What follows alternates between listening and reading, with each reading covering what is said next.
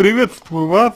Ага, ситуация, которую вы описываете, достаточно серьезная. Я не думаю, если честно, что она сама по себе пройдет. А, потому что совершенно очевидно, что такие ваши проблемы, они были и до этой ситуации в целом, они были и до того, как началась вся эта история с э, завалом на работе и т.д. и т.п. Вот, то есть у вас уже были признаки определенной жертвенности. А, как мне кажется, у вас уже были определенные потребности во внимании, как мне кажется, и даже, наверное, потребность в любви, судя по тому, что написали вы достаточно много, ну, именно вот текста, именно вот, э,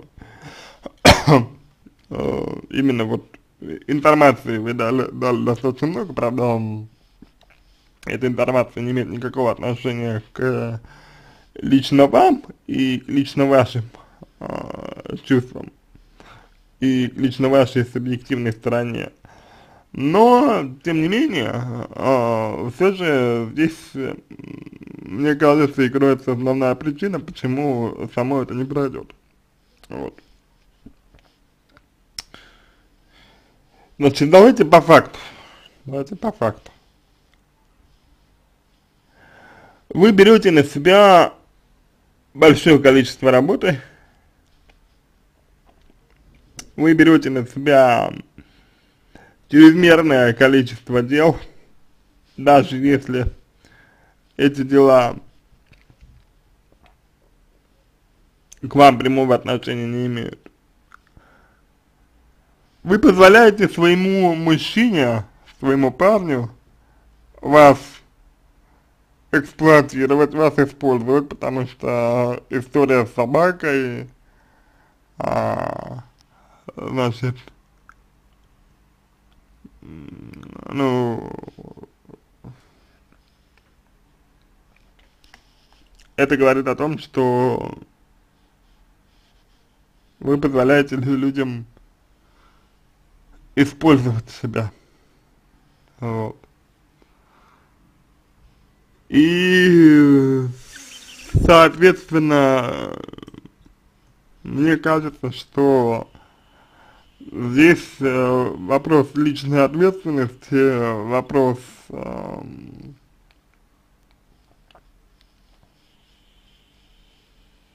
ограничения себя от других людей, вот, мне кажется, что это ваша основная проблема, потому что, ну, нужно, нужно э, вам все-таки четкие личные границы иметь, да? То есть никто не имеет права э, взваливать на вас больше работы, чем изначально было написано в э, вашем трудовом, например, э, контракте, и мне кажется, что именно от неумения сказать «нет» а, людям другим, вот,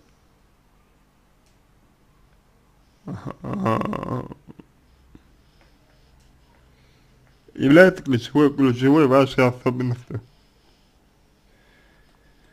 Вследствие этого вы, вероятно, э, чувствуете например, постоянную несвободу, вследствие этого вы, вероятно,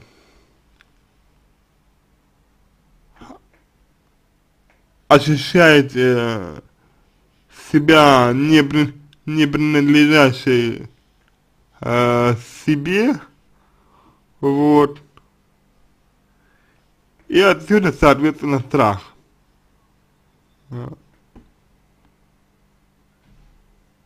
Понимаете? Вот, вот в принципе, э, основ, основные э, причины, по которым у вас возникает вот эта вот история. Понимаете?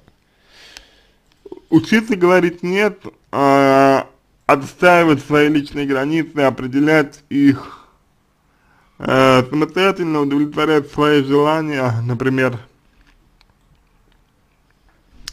ну вот, например, э, то, ради чего вы, к примеру, э, терпели все от своего молодого человека, почему вы э, не, не, знаю, не бросили его, почему вы не знаю, не отказали ему вот в том, что он на вас на, наваливал. Вот. То есть это вот вся, вот это вот все э, вещи нужно разбирать. И вот где-то там, где-то там, вот где-то в ваших э, формах реализации своих желаний и лежит ответ на вопрос о том, э,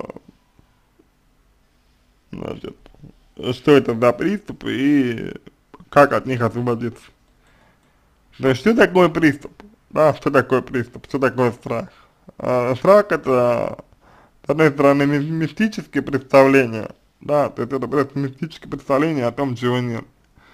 Вот, здесь вам не хватает, конечно, может быть, с одной стороны, рационализация. С другой стороны, страх это четко, это четко очерченное, э, подавляемое желание, желание которые вы не реализуете,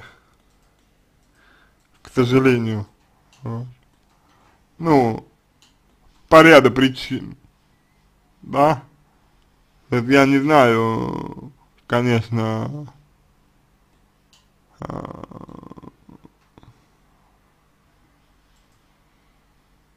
что конкретно, но какое конкретно желание э, вы пытаетесь удовлетворить через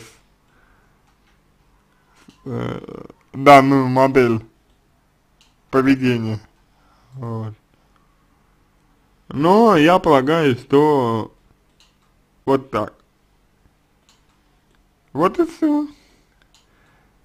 И, соответственно, если э, с вами а, в этом направлении работать, если с вами в этом направлении заниматься, то вполне возможен прогресс, вполне возможно будет результаты, вполне возможно вы освободитесь от своих страхов. Другое дело, что для этого придется изменить свою жизнь. Вот, этого придется брать ответственность за нее, за свою жизнь. А это не всегда позитивно будет восприниматься людьми, которые рядом с вами. Вот. Я имею в виду, например, вашим молодым человеком. Это, не всегда будет восприниматься позитивно, потому что вы откажетесь что-то делать.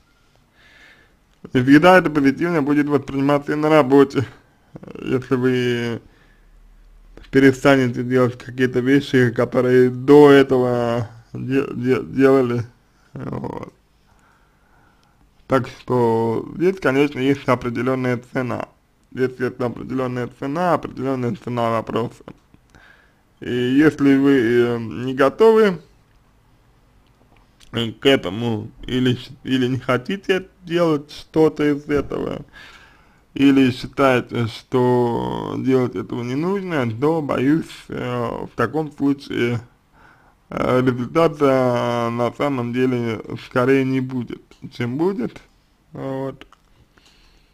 Э, потому что без изменений своего поведения, без изменений э, своего отношения к себе и к другим, э, я думаю, что э, никакого эффекта, вот, никакого эффекта э, не будет.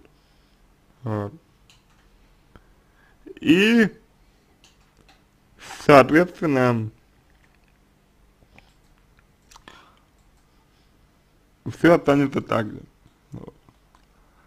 Панические атаки ваши, они, может быть, и как-то вот будут меньше, да, но они не уйдут. Потому что подсознание ваше через них, через приступы, э, пытается вам донести э, то, что вы делаете неверно, то, что вы делаете неправильно, что-то вам нужно поменять, по сути. Вот, и от того, готовы ли вы менять э, свою жертвенную модель поведения, вот, а сейчас вы, к сожалению, вот именно что жертва, вот, зависит на самом деле очень много, да, если готовы, то я более чем уверен, что у вас есть э, шанс стать счастливой, есть шанс жить полной жизнью и наслаждаться. И, но я не уверен, что вы будете со своим молодым человеком, с которым вы сейчас вместе, вот, и я не уверен, что вы будете работать на той же, на, на той же работе, на которой вы работаете сейчас по факту.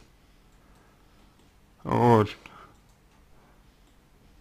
Вот примерно так, примерно так а, можно вам ответить на ваш вопрос. Я думаю, что подобная история, история некой такой жертвенности у вас возникла еще в детстве, скорее всего. А вот, и в детстве вы привыкли брать на себя чересчур большое количество ответственности. И, соответственно, боитесь сказать нет, потому что, ну, либо стыдитесь, либо боитесь одиночества. Как правило, люди боятся одиночества. Как, как правило, не говорю, что а, не говорю, что эта ситуация обязательно с вами, да, не говорю, что ситуация обязательно относится к вам, не говорю, что обязательно вы боитесь одиночества. Вот, но как правило, как правило это так.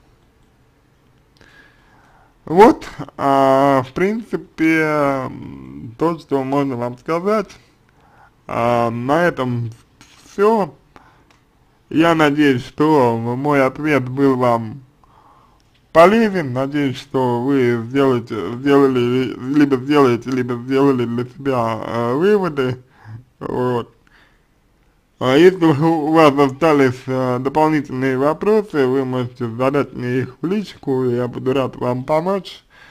А если вам понравился мой ответ, буду благодарен, если вы сделаете его лучшим.